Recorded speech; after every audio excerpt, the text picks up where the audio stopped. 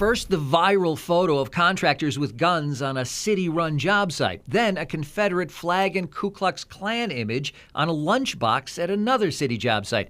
Workers, in each case, employed by American Sewer Services.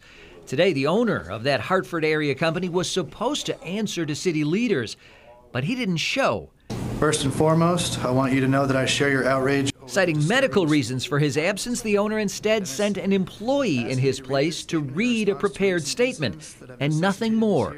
Unfortunately, I'm not able to answer your questions. To not be able to show up or at least not have someone from the company who could answer questions is ridiculous. Sending in the sacrificial lamb, I mean, send in your lawyers, send in your, your somebody who's in a position to speak to the facts here. But Council President Ashanti Hamilton said with or without the owner present, something has to be done. But one of the things that the community is saying is that there has to be consequences when you blatantly display that. American Sewer Services currently has 11 contracts for jobs like this one and has done more than $50 million in business with the city in just the last five years alone. But now some aldermen want the city to cut ties with the company. We could get a better contractor. That's what I hope.